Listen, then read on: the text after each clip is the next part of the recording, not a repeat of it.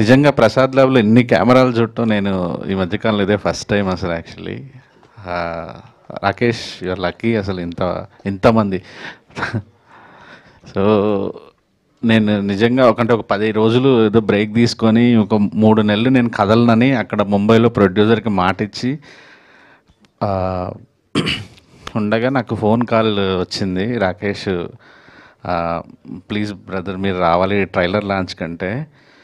నేను ఏదో ఒకటి రిక్వెస్ట్ చేసి రావద్దు అనుకున్నాను ఎందుకంటే నాకు జర్నీలు తిరిగి తిరిగి తిరిగి బాగా చిరాకులో ఉన్న టైంలో కానీ నాకు ఈ- ఇక్కడికి రాకపోతే ఈరోజు నేను రాత్రి వచ్చాను ముంబై నుంచి. ఇక్కడ రాకపోతే నాకు నిద్ర కూడా పట్టేది అది ఎందుకంటే హృదయకాలం తీస్తున్నప్పుడు అప్పట్లో గెస్ట్లు లిస్ట్ ఇచ్చి ఏమి స్కిట్స్ ఉన్నాయి అవన్నీ రాసిస్తే కానీ అది ప్రాపర్గా చూడడానికి బాగుంటే కానీ లైవ్లు ఇచ్చేవాళ్ళు కాదు ఛానల్స్ ఆ టైంలో నాకు సందీప్ కిషన్ గారు కూర్చోబెట్టి కో వీళ్ళని పిలుద్దాం వీళ్ళని పిలుద్దాం పిలుద్దాం అంటే చాలామంది మొహమ్మద్ పట్ట నాటి స్పీకర్లో ఉండే టైంలో ఆ సినిమాకి ఏం పోతాము?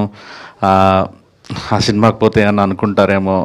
ఇలాంటి టైంలో నాకు జబర్దస్త్లో చాలా ఫేమస్ అయ్యండి రాకేష్.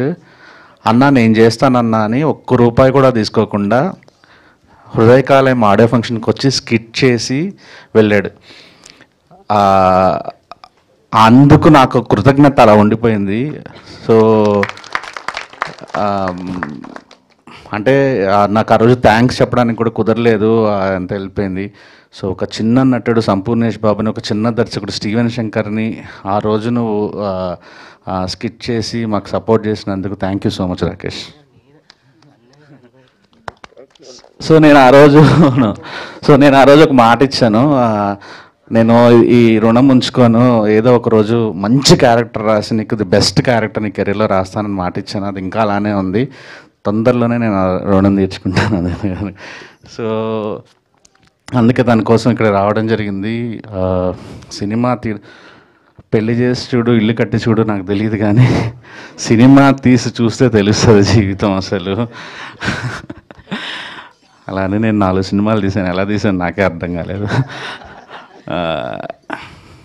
రాకేష్ నీకు ప్రశాంతంగా అన్నీ స్మూత్గా జరిగి డిస్ట్రిబ్యూషన్ దగ్గర నుంచి ఎగ్జిబిషన్ దగ్గర నుంచి పబ్లిసిటీ దగ్గర నుంచి ఇంతమంది మీడియా సపోర్ట్ ఉండటము సో అన్నీ ప్రశాంతంగా జరిగి మంచి డబ్బులు వచ్చి సెటిల్ అయ్యి హీరోగా యాక్టర్గా ప్రొడ్యూ ప్రొడ్యూసర్గా మంచి స్థాయికి వెళ్ళాలని మనస్ఫూర్తిగా కోరుకుంటున్నాను.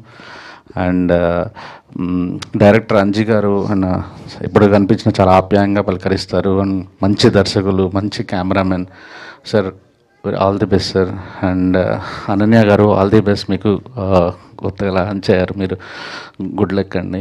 And sir music amazing sir అంటే సాంగ్స్ నేను మొత్తం అన్ని వచ్చి ఫస్ట్ నుంచి స్టార్టింగ్ నుంచి ఉన్నాను. బ్యాక్గ్రౌండ్ స్కోర్ టూ గుడ్ ఉంది అసలు ట్రైలర్లో. గ్రేట్ మ్యూజిక్ సో అందులో గ్రేట్ హైట్స్ చూడాలని కోరుకుంటున్నానండి. అండి థ్యాంక్ యూ అనసూయ గారు. అనసూయ గారు అనసూయ గారు వస్తున్నారని నేను అసలు వచ్చాను. ఇందాక చెప్పినంతా delete చేసేసేసింది actually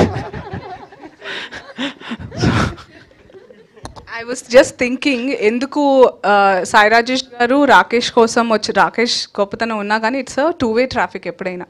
I remember Rajesh garu నేను అప్పుడప్పుడే జబర్దస్త్ చేస్తూ ఈ అమ్మాయి ఏదో బాగుంది పొడుగ్గా ఉంది వాట్ ఎవర్ వాట్ ఎవర్ ఏ ప్రీ అంటే నాకు మాటలు కూడా వచ్చేవి రావు. తిట్లు తినేదాన్ని. ఈ అమ్మాయి ఇంగ్లీష్ ఎక్కువ మాట్లాడుతుందని ప్రీ రిలీజెస్కి వచ్చినప్పుడు almost everywhere he used to be there with cap అలా క్వైట్గా.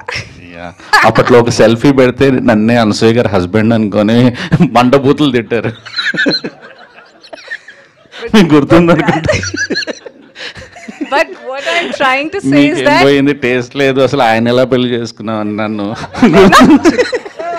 మీకు మర్చిపోయారు నాకు. తెలీదు. నేను చూడలేదు ఇవన్నీ ప్రామిస్ బట్ దెన్ ఈ రోజు వాళ్ళకి బుద్ధొచ్చేలాగా అందరికి ఏమైనా anyway what I'm trying to say is I think ఇలాంటి వాళ్ళు ఉంటేనే అది అది uh, మన స్టాలిన్ మూవీలో చిరంజీవి గారు చెప్పినట్టు ఒక్కళ్ళకి చేస్తే అది పాస్ అవుతుంది.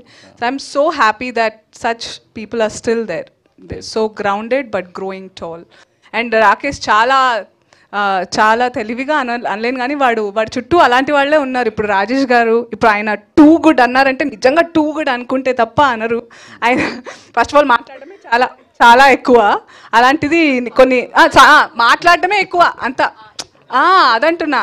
సో యా బోత్ బాయ్స్ మాట్లాడడం చాలా తక్కువ బట్ ఆయన ఇంత మాట్లాడడం అందులో కూడా హీస్ అప్రిషియేటింగ్ అంటే he truly mean means it like yeah he అట్లాగే నేను కూడా ఏం వాగినా అదే వితౌట్ ఫిల్టర్స్ ఉంటుంది కాబట్టి గుడ్ చాయిస్ రా.